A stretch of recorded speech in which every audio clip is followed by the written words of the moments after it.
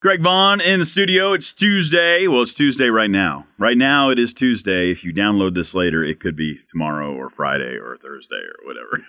I forget that part of this that we, we put these up online and uh, people can download these these segments whenever they want. Uh, but Leman Wall and Casey Hooper from the Working Ranch Cowboys Association are in the studio, and we missed last week, and I know there was a, a rodeo last weekend, and so we're actually doing a little catch up, aren't we? Yes, sir. Yeah, we get to talk a little Fort Sumner, Sumner. Fort Sumner Ranch Rodeo. Did y'all make it out to that one? That's not Yeah. that's not too horrible of a drive or anything. It's not like one of the seven hour drives or No, it's it's a real easy drive. I made it over there. good. Good rodeo. Good crowd. Yeah, you know they're in conjunction with Fort uh, Old Fort Days. Oh yeah, Over there in yeah. Fort oh, Sumner. they do that at the same time. Yeah, Oh, so there's all I need to kind of cool stuff going on. Uh, Yeah. You know, little town parade. Yeah, yeah. seeing all the kids riding around on their Yeah. horses and having a good time. And uh, I got to tell you, before we get into the results, I was over there Friday afternoon before everything got started, and Carrie Henry, the young lady that her and her husband are kind of the ringleaders of, the, of that deal, Right. they said, "Hey, if you're going to be, you know, around tomorrow afternoon, you need to go watch the Tombstone race."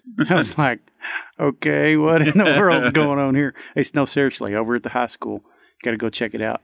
So I did. I showed up, and man, this is a big time deal. It's like the Olympics in Fort Sumner. Billy the Kid was over there, Right. and people had stolen his tombstone a couple of times. So a guy came up with this cool idea. You know, well, let's have a tombstone race, kind of mimicking, you know, grabbing the tombstone, and Right. running off with it. So you literally have to run and go over these big. They're not hurdles. They're more like small mountains. Right. I mean, these people have to jump over these things. The guys have to carry an eighty-pound tombstone, Tombstone. in this race, and the girls, I, I think theirs is like 20 or something. end. Yeah, man.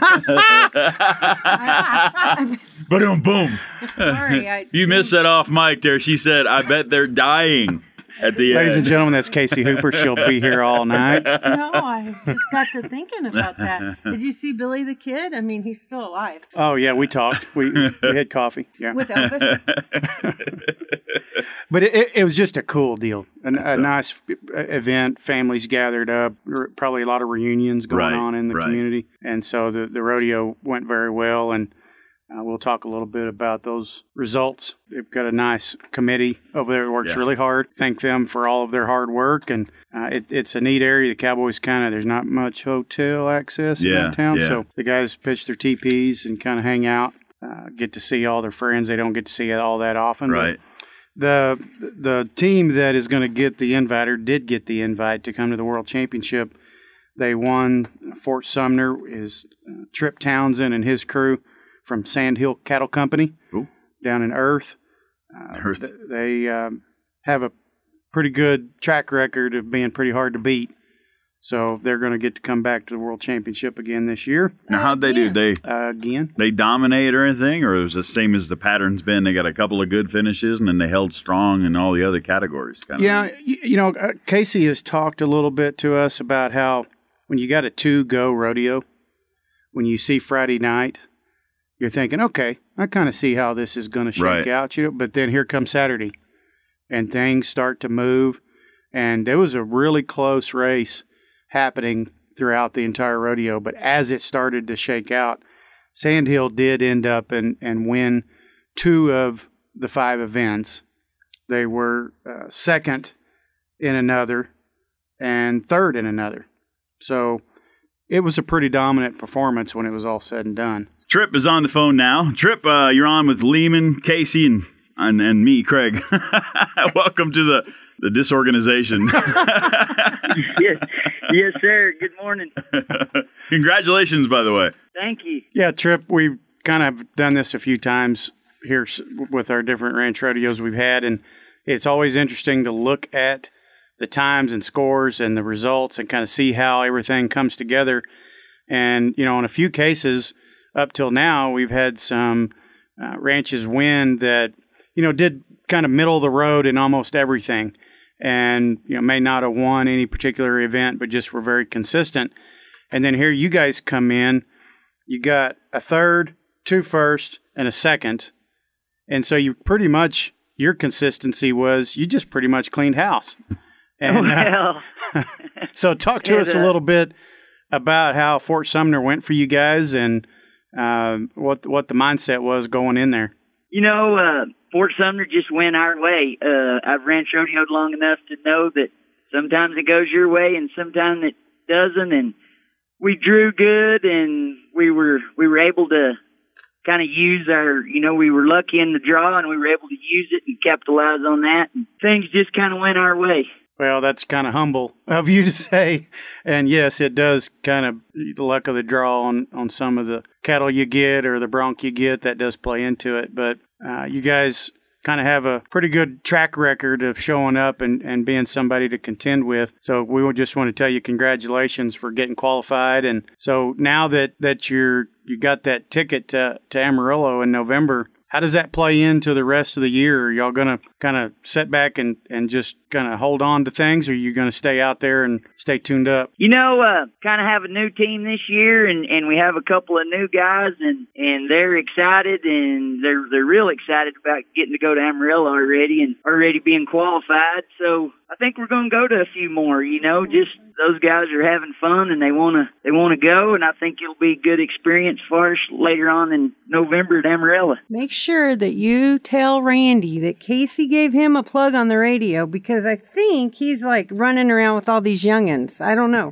He's probably grouchy. Okay. He's probably yes, grouchy. ma'am. I'll but I'll tell him. if I've been at Fort Sumner when Sandhill has been there and through the years and he's exactly right. I mean, some days you just cannot pitch a loop to save your rear end and you're like right on Johnny on the spot, everything's set up and it's just like there's a net, like it won't, it just bounces off the back of the steer's head or yearling's head or what have you. But I've appreciated Sandhill as a whole and, and, and Randy and Trip and your family have always been very receptive to those nights at the rodeos when they're doing really good and then those days that you just can't build a loop fast enough to get anything done. and it is rodeo, right, Trip? I mean, It is. It it is. is. rodeo. That's why the. That's what makes it fun. Is uh, you you appreciate when you do win. You know, because you've been there when you didn't win. So it makes when you do win, it makes it even sweeter. yeah, and speaking of sweeter, so when they won at Fort Sumner last time, I actually had just given them some beer, root beer, let me might add. Little eight ounce cans of root beer. So Trip tells me, hey, and Tyler Rice at that time was just drinking it like it was uh, milk or water. We were all so hot. So at championship this year, I presented him with a half a case of root beer, and it worked out pretty good.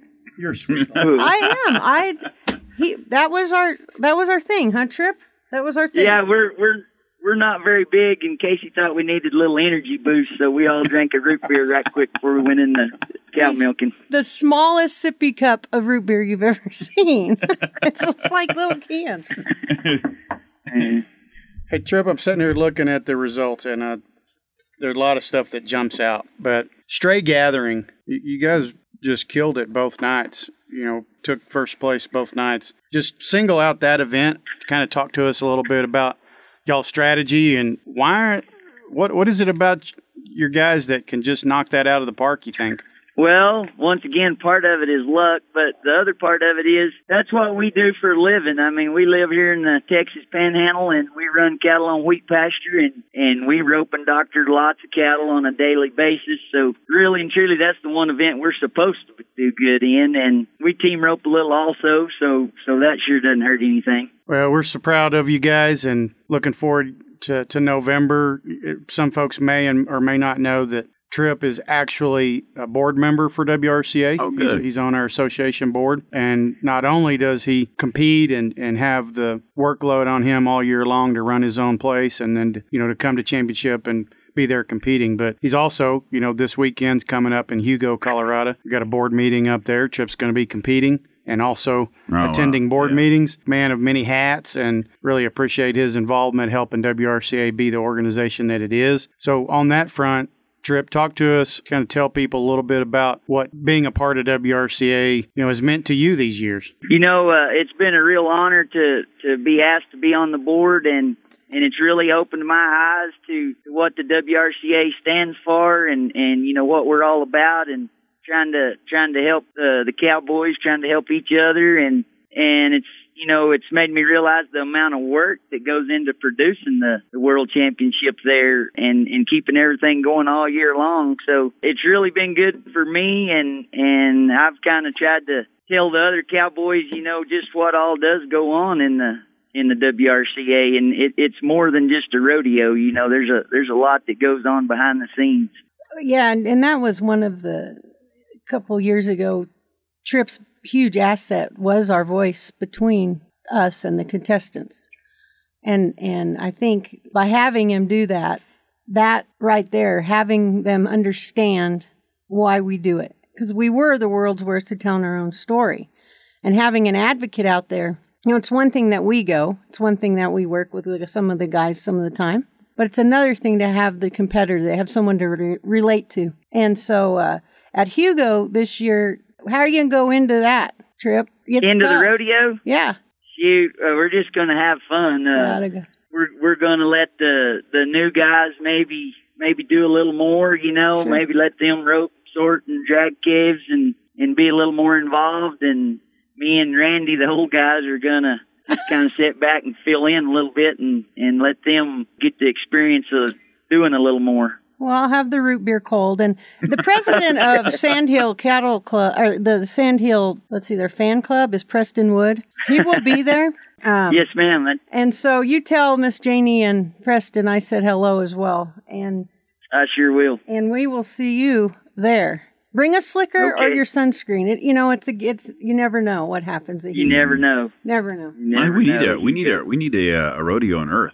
'Cause- There 'cause is a- who there would- is a rodeo We on need Earth. that one. Yeah. We need to. We, Late, later. You need to, Craig. You need to come. I to need to go to that one. Yeah. Yeah, yeah. Can we have a uh, trip at Earth? Can we have a celebrity stray gathering? Craig Vaughn Yes, can sir. come down. Absolutely. Or cow milking might be better. I think so. There you go. That's cu- kind of a calm, you know, good novice entry point.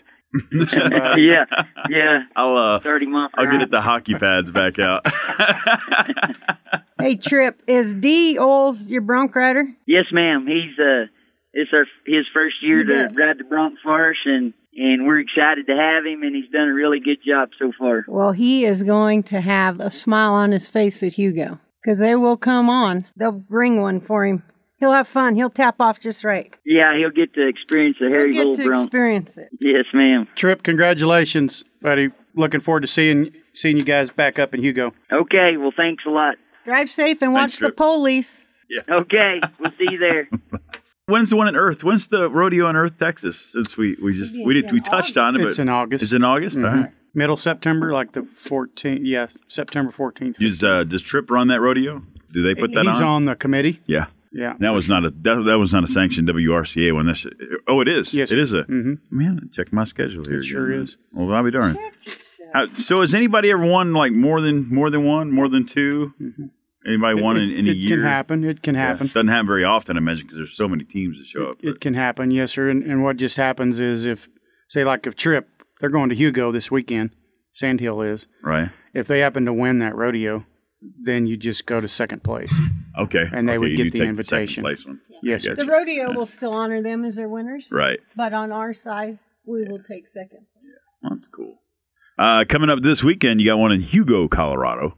Hugo. Hugo. America. was that one? Is it It's a? awesome. It's a small town. I was Google mapping it earlier when you guys got in the studio, just kind of looking up the town. And You bet. of course, most of these actually, most of the rodeos are in small towns. So, like we're talking about all the fun stuff that happens in Fort Sumner that go along with the rodeo. So, Well, they have uh, headstone races there, and at Hugo, you can play golf.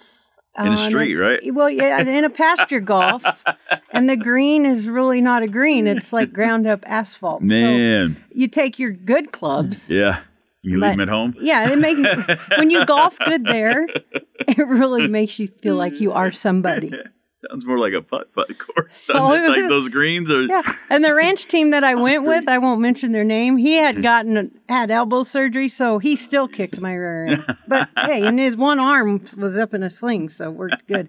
And 120 degrees. So oh my goodness, yeah. Colorado Championship has been with us. Uh, gosh, I can't lie, but um, over 15, maybe 15 plus years. Uh, I know it's at 15. You'll see it's old home week there. Oh, cool. Randy Lewis. I like when they do. Yeah, there's some tied in for. yes. You just turn into. It's rough if you're if you're not the rodeo person to go to you know drive these long distances to see just the rodeo and then turn back around and come home. It's neat when you've got these other things tied. Oh, in. absolutely. They do a chuck wagon competition. Oh, cool. They'll do a RHAA ranch horse um, competition. They will do this really neat open bronc riding. Um, and Jeremiah Ward was on their board and helped a lot. And about five years ago, he was killed in a vehicle accident. And so, in honor of him, they do a open bronc riding. And it's speak. And so, a lot of the guys will buy into that, you know, and compete in that. Yeah. And then, so there's always something to do. There's a really neat trade show that takes place. And this year, um, Tapatio Annie's, which is Tap, which is a oh, Jessica Waite or Castell actually has made up some T-shirts for us um, that she's going to have there with a commem- uh, what do you say that Commem- Commemorative. Can't commemor- say the word. Commemorative. But of this year's uh, Colorado Championship, yeah. five dollars of those T-shirts go back to the Crisis Fund. Oh, good. Good So and it, and they're really really neat. So. Leman, you said you had a couple a couple people to mention. I don't want to let us go without without mentioning. Yeah, kind of bouncing back to Fort Sumner a Yeah. little bit. You know, we gave our top three on the overall team awards, but we do have some individual awards that occur at each ranch rodeo, and so we'll recognize uh, Bill Angel from Angel Ranch over in Lovington, New Mexico. He was riding JMP Ethan. That horse was uh, recognized as the AQHA top horse over there. It's a really, if I could have fit him in my back seat, I would have taken him home with me really cool bay stallion um, by Peptomatic out of LDL Silk Purse. And the breeder of that horse was James Peters out of Edmond, Oklahoma.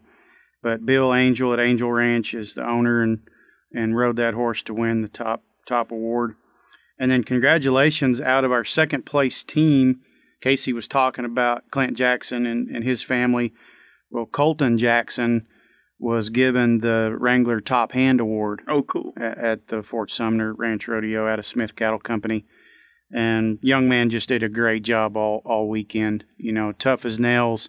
Kind of got banged up first night on the bronc, and you just you wouldn't have known it. Right. He right. stayed hooked and actually ended up and was very helpful to that team uh, to get second place. So, congratulations to those guys. And then, of course, we mentioned Sandhill Cattle Company. They were our first place, the Titan Fuel Tanks Team of the Week uh, with Trip Townsend, Kelton McMillan, Randy Knight, and D. Oles out of Earth, Texas. So that kind of wraps up Fort Sumner. Titan Fuel Tanks. Big thanks to Titan Fuel Tanks. Yeah, we couldn't do all this that WRCA does without the support uh, of the different sponsors and, and individuals that continue to help us do what we do. So, you guys, uh, we're doing all of this to lead up towards the World Championship Ranch Rodeo November 8th through the 11th. Tickets are on sale now, panhandletickets.com. Uh, if you need any more information, you can go to our website, wrca.org. But get out there and, and got four performances no matter where you're listening, if you're local or if you want to drive in. I have great accommodations here in Amarillo. Yeah, Wonderful hotels. no shortage of hotels. No, no shortage of hotels. But if you wait until you get to town, Yeah, you might have a will short- yeah. have trouble because we fill them up. Yep, We yep. fill them up. But Yeah, and those tickets on sale now. I mentioned it yesterday on on on the air. They went on sale June first, so we're a good two and a half weeks in. And I, I, I told people yesterday, uh, don't wait. They they they go. They disappear. They you know if you start to wait to well, I think in September, then maybe we'll go to that that rant. Let's go. Let's make plans to make Friday nights. You know, the eighth or something. You know, nope. You're you're you're you're you're going to be out of luck. You know. That's true. And the, we were talking in the office the other day, and somebody said, you know, the ranch rodeo that we put on, it's it's more than a rodeo. It's more than a ticket. Right. And that kind of stuck in my head because we'll get into the reason we do this. Obviously, Trip mentioned mm-hmm. giving back to the Cowboys and their families through our foundation. That's ultimately what we're all trying to accomplish. But if you guys come out to the World Championship, you're going to see real cowboys from real ranches doing the work they do every day. It's the best competition you can see anywhere. And and then top that off with all the activities, Casey, during the day. You know, we've got that thing we call the trade show, the vendor show. My lord, you can't find anything like that anywhere on the planet. Right, just in time for Christmas. I mean, it is just in time for Christmas to go out there to that trade show, and you can find. Well, if you can't find a Christmas present, then you're probably, I don't know. Yeah, you're on the bad seriously, there's- list yeah. because there there's a plethora of things to choose Yes, from, yes. and especially if you make your living, Yeah. you know, on the back of a horse, you will ne- you will get your tools that you need for everyday use. Yeah, you're right, and especially if if you're in like this is your lifestyle, you know what I mean. You'll find stuff, but I think even if you're not, even if it's not your lifestyle, you need to go and check it out. They'll find stuff. Oh, absolutely. I'm always amazed at like there's somebody was selling history books there one year, and I'm like, oh, look at all these cool old history books. I had several relatives who were just into history that would not have shown up to that event. Well, there's art. Yep. Got some of the best cowboy art that you know, Western art anywhere. Uh, there, there are shops that are more female oriented for boutiques and clothing and stuff like that. Jewelry, equipment. Casey, if you guys are ranchers out there and are looking for something to help you do your job, we pretty much got everything you need right there in that Ranch Expo room. Well, yes, and like the you know with all the fires, you know, flooding, Mhm. depending on where you sit in this big place called Earth, on what devastation you've experienced this year. I mean, you have to replace those tanks. Yeah. You have to replace those pins. And unfortunately, that's just the nature of the beast. Mhm. To be able to do a good job of management on your ranch, you have to have stuff that is usable. And so we try to make that a one stop place for them to place their orders Yeah. to make their purchases. And it carries them year round in the sense that after championship, we have receive a lot of calls about the sponsors and vendors. And so they'll be doing deals in February Yeah. Because they saw that individual at the World Championship. And you got to talk to them. You talk to somebody like right there from those. It's not on the phone. You usually get to, you know, shake a hand and, you know, Oh gosh, whenever Bob Mars and Mr. Cates, you know, when they were still in the show, um, guys would just come and talk and and learn about the history part that Mm-hmm. Yeah. you're talking about. Sit down with Cecil Blassingame and sit down with some of these guys, Richard Oliver, and sit with them, and they know the history of why things are made, designed the way they are to fit where you're from. Yeah. And that's knowledge that the average person you cannot buy. Yeah. Yep. That's coming from the authentic builders, Yep. the craftsmen of their trade. Yep. And when you can sit down and learn what they know and hold on to it, that's priceless. Yep. And to me, that's worth the rodeo ticket right there. Yeah, definitely. Yeah, and you don't even need a rodeo ticket No, Go you to do that part. No, you do not. And to go to the trade show. we do not have security on those individuals I mentioned. uh, tickets are on sale for that. WRCA.org. You can go there and get uh, redirected to everywhere where you need to go to find tickets, or you can go to panhandletickets.com. Uh, don't Google them. Don't, don't Google WRCA World Championship Ranch Rodeo tickets and buy the $400 tickets. Right. Right. Yeah. That's- Your best bet, as all. we Yeah. always say, go to WRCA.org, go to the link off of there to panhandle tickets. Or better yet, just uh, call them or go by. You know, there's lots of ways to do that. Just just come see us. It, it's a good time. A lot of activities going on throughout the day. We talked about the vendor show, but other stuff, the Budweiser Clydesdales will be there. Some live music going on. live and- music, yep. ranch horse show, youth Yep. cow horse championship. We'll have a nice cowboy church gathering on Sunday Mm-hmm. morning. Just just come have a good weekend of fellowship and uh, help us support the working ranch cowboy. That's what it's all about. We will catch you guys next week. We'll get the. Oh, there's that turkey call. Is hey, hey, that the is that the shoot, closing the new closing theme song? I have to keep I have to get keep Craig motivated. Uh, we'll we'll talk Colorado Championship Ranch Rodeo next week. Appreciate you guys. Adios.